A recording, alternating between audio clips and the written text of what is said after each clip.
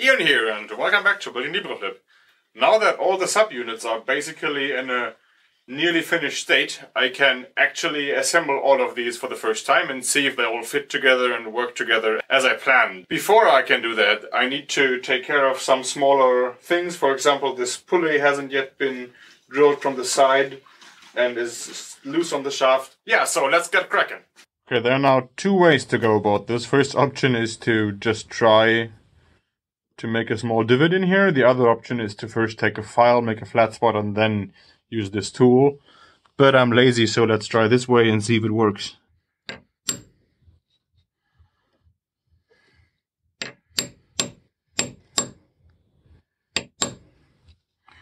I think I can drill it that. Let's try to clamp this in here.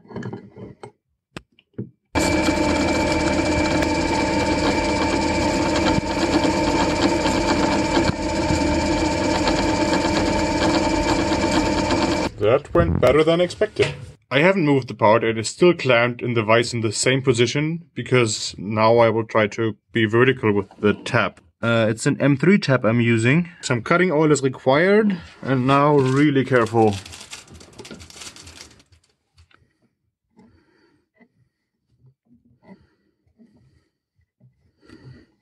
I think I should take it out and take a look.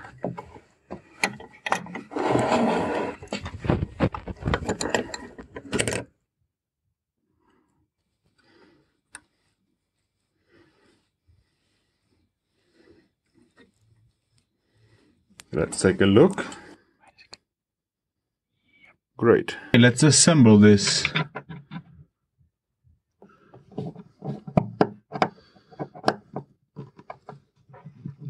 Perfect, the servo motor is turning now. These lock nuts have a small square part here that needs to be pulled into the wood before these grip and can be tightened from the other side. I want a washer on here to spread the load. And it's slowly pulling in here, securing the bolt head nicely in the wood. This backplate moves up and down here, and it's driven by the belt. To get the spacing right, there needs to be a spacer. These divots here, only purpose is to provide some room for the heads of these bolts. This is a part that has been printed with SLA and it has uh, tiny grooves on here with the exact same spacing as the teeth on the belt.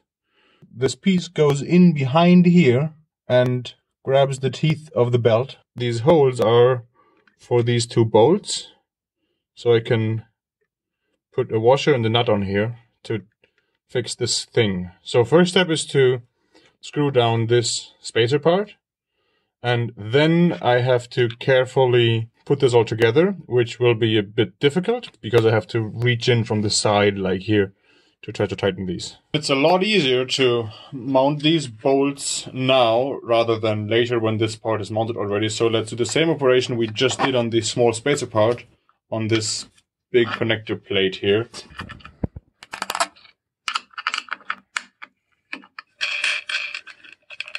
Let's see if this part actually fits the suction box. Yes, great. I will use the 4x20 screws to attach this part.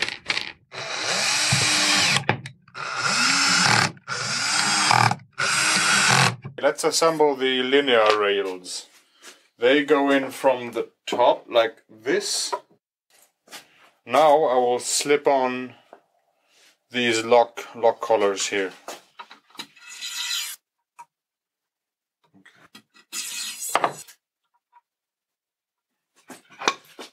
Okay. And now I will lift up these. Yes. Great. And now the lower ends.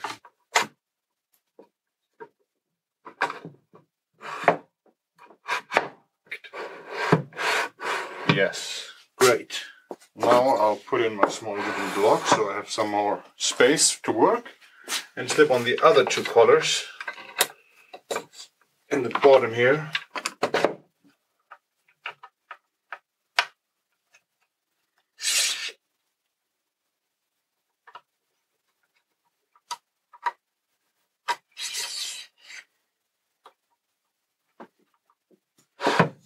This moves smoothly over the whole distance. Cool.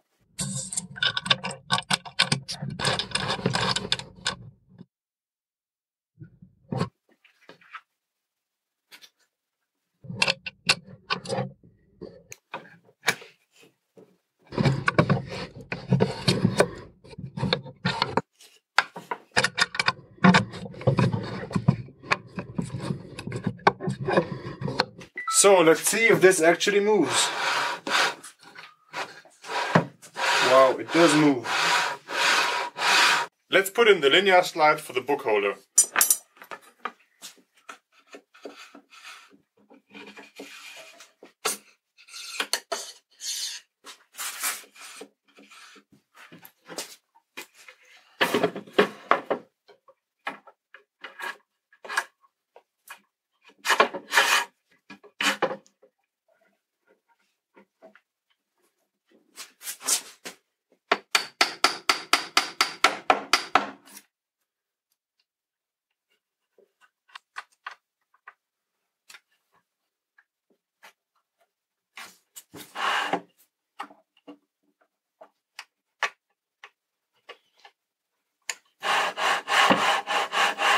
Cool, let's put in the book holder parts.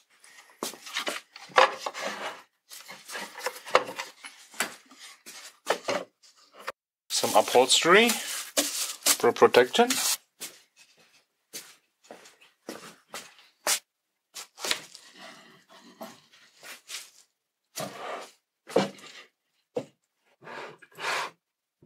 Hold the box. Nope. Great, let's tighten these screws.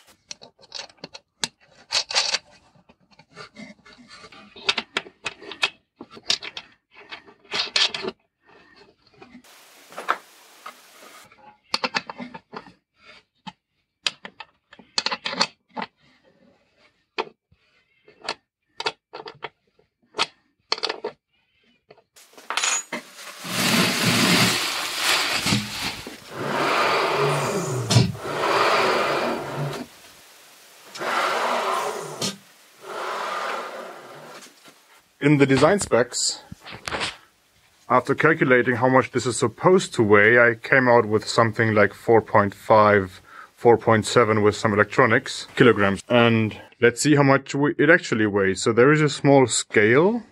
Please lift it up. Okay. I would say it, it weighs four, four kilograms. So this box turned out actually lighter than it was intended to be, and that's probably because of the wood. Because I picked a tropical wood, but it's rather lightweight, and uh, my CAD program didn't had the properties of that type of wood, so I picked something heavier. But that's nice because uh, now I can calculate how much force the motor needs to have and uh, find out whether there's actually a chance that this might work with springs.